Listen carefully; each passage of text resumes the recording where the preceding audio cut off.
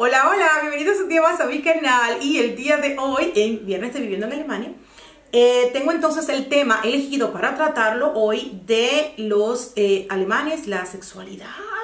¿Por qué he elegido ese tema? Porque el viernes, hace dos días, hablamos entonces de lo que era la impotencia y esas cuestiones.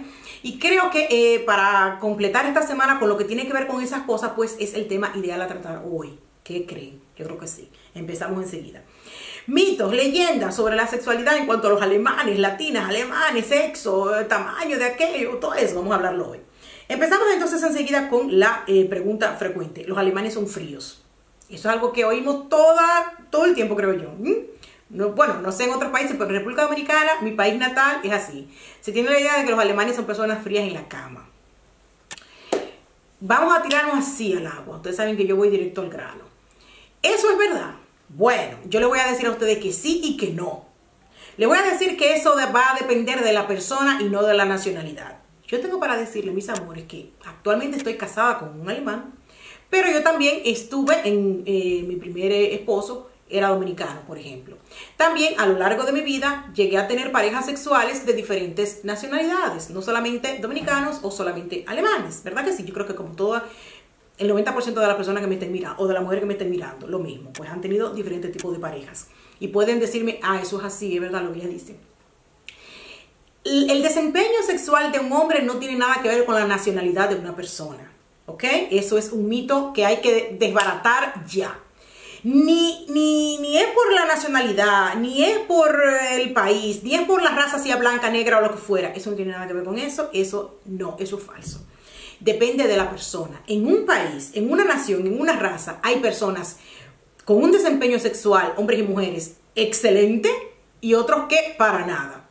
En la misma raza pueden haber personas, mujeres y hombres, por ejemplo, con un miembro exageradamente desarrollado y otros que no. ¿Mm?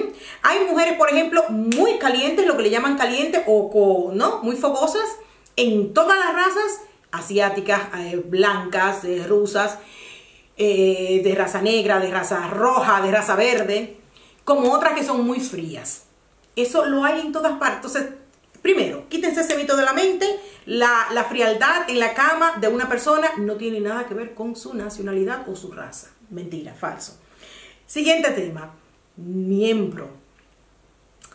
Lo tienen grande, lo tienen pequeño, como muchas personas dicen. Vuelvo a lo mismo es lo mismo que le dije anteriormente. Eso no tiene nada que ver con la raza. Los hay que lo tienen grande, los hay que lo tienen pequeño, eh, ya sea latino, ya sea africano, ya sea blanco. Es mentira.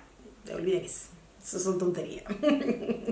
Yo creo que esos mitos vinieron o nos vienen en cuanto a los latinos de la época de la colonia que como en aquella época, eh, pues eh, los colonizadores que eran de raza blanca, pues eh, quizás los que llegaron a ir posiblemente tuvieran un bajo desempeño y se entendió la idea, la falsa idea, de que entonces los blancos eran más flojos y como los eh, eh, pues indígenas estando en un clima pues más caribeño más caliente y estas cuestiones aparte de que la raza indígena es una raza muy desinhibida en, todo lo que tiene que ver con su sexualidad, desde el punto de que usan poca ropa o muchos de ellos pues eh, siempre están desnudos, pues tienen una, idea de lo que es la sexualidad muy diferente a lo que por ejemplo es la raza, la, raza blanca o de la colonia en esa época, que eran muy puritanos, ¿no? O sea, eso, no tiene que ver con genética, tamaño, eso tiene que ver con, ¿no? Con cultura y eso, ¿no? No.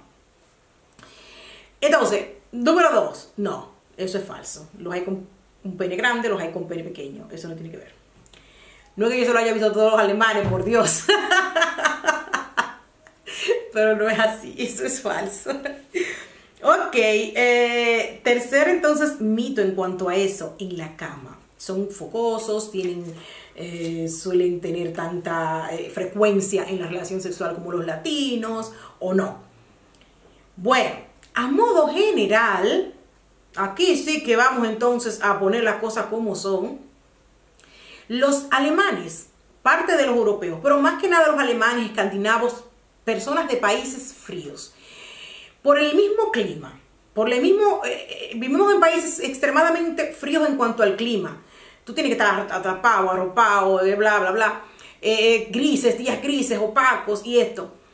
No solamente a ellos, por estar y vivir todo el tiempo en un clima de esa forma, sino también por el estilo de vida que se llevan. Son países que se llevan que tú nada más trabajas y tienes que trabajar, estudiar, trabajar, estudiar, trabajar. Tienen poco tiempo para lo que es el disfrute y esas cosas son más prohibidos. Pero eso tiene que ver con la mente, no con su genética. En eso sí es cierto. Son personas que tienen, son muy, muy cuadriculadas, tienen menos deseo sexual, por ejemplo, que lo que es el latino. Eso sí, eso sí. Sin importar si el miembro sea grande, pequeño, mediano, no importa. El deseo sexual entre los alemanes, básicamente, es menor que en los latinos. Por ejemplo, para un hombre alemán, estoy hablando de los hombres porque yo soy mujer. para un hombre alemán, normal para él sería tener, eh, no sé, relaciones sexuales quizás de, para él frecuente podría ser una o dos veces por semana.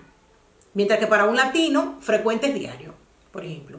Pero eh, he escuchado yo, a modo personal, cuando uno habla y comparte con otras personas y bla, bla, bla, y en 10 años que tengo aquí viviendo, tantas personas que yo también conozco, si tú le hablas a un alemán, hombre o mujer, de tener relaciones sexuales diarios, te dicen que tú eres ninfómano. Mientras que para un latino eso puede ser normal. No para todos. No para todos, hablemos claro. Pero en el argot normal puede ser normal. Eh, en cuanto a las mujeres, las mujeres alemanas sí que suelen ser bastante lo que le llamaríamos fría los latinos, ¿ok? Porque lo que les digo, para ellos es normal, para nosotros no. Entonces, como yo soy latina, lo veo desde ese punto, desde ese punto de vista. Para una mujer alemana es completamente normal, por ejemplo, eh, tener, eh, no sé, sexo cada 15 días, un mes. Muchas de ellas hasta pasan dos o tres meses y no, no hay problema con eso. Sí, eso, eso pasa mucho. Eso pasa mucho. Se quejan más los hombres alemanes de las mujeres, de la frialdad de las mujeres alemanas que las alemanas de la frialdad de los hombres alemanes. Así es. Para ellas, mientras menos mejor. Es lo que les digo, eso va mucho con el, clima, la cultura, la forma, que se concentran mucho como que en otras cosas, que están como con su mente en otras cosas. Y nosotros los latinos pues usamos más la vida. Mm, vamos más como que no sea la chercha y a la fiesta y al bochinche. Eso. Eh, otra cosita entonces a, a, destacar del tema de cuanto a la sexualidad o la frialdad en cuanto a la sexualidad de los alemanes. Eh, decirles que, por ejemplo, eh, es completamente normal en una pareja de, por ejemplo, de alemanes, eh, no experimentar demasiado o en exceso, por ejemplo, en cuanto a lo que tiene que ver con las relaciones en, de pareja. No, yo no. Eso también para ellos es algo. Es lo que les digo, no tiene mucha fijación con el tema sexual.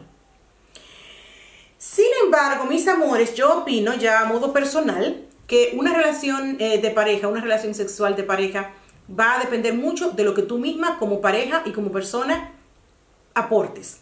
Si tú eres latina como yo y estás teniendo unos problemitas con tu, tu marido, pareja europea o alemán, específicamente, va a depender de ti, de cómo tú vayas sobre, sobre, sobrellevando la, la situación con tu pareja. Si él no es una persona que es demasiado activo y tú quieres más actividad, pues va, velo llevando tú poco a poco a tener un poquito más de actividad, sin demasiada presión para que no te vayas a salir corriendo, ¿verdad que sí? Pero eso va a depender de ti. No esperes, aunque tú seas mujer y que supuestamente la mujer debe de esperar a que el hombre te lo proponga, no esperes a que él te lo proponga. Si tú ves que ha pasado una semana y nada de nada y él no se manifiesta y usted es la que, la, la, que tiene el deseo, póngase bonita, perfume, si hagas algo chulo, no sé qué cosa, dele un vinito y no sé qué cosa y entonces, ¿verdad? Y el hombre se va a sentir en, eh, ¿cómo le digo? En situación. ¿Mm? Eso. Hay mujeres que me dicen a mí muchas, ay Dios mío, pero que mi pareja es europeo, ay, nada que ver con un dominicano. En el caso mío, yo soy americana. Nada que ver con un dominicano, eso, ay, qué va, qué sé yo cuánto. Bueno, mi hermana, si él no hace por sí solo, póngalo usted a hacer. Claro. Eso es lo que yo tenía que compartir este día, eh, pues, de, del tema. Yo quiero entonces ahora oír lo que ustedes tienen que decir en los comentarios. ¿Qué les parece a ustedes? ¿Qué idea tenían ustedes si ustedes nunca han tenido una pareja alemana? ¿Qué idea tienen ustedes todavía al respecto? Si es que ya tienen una pareja o tuvieron en algún momento una pareja alemana también, por ejemplo, ¿qué, qué opinión le merece a ustedes al respecto? Ahora sí me despido, mis amores. Hasta la próxima. Bye.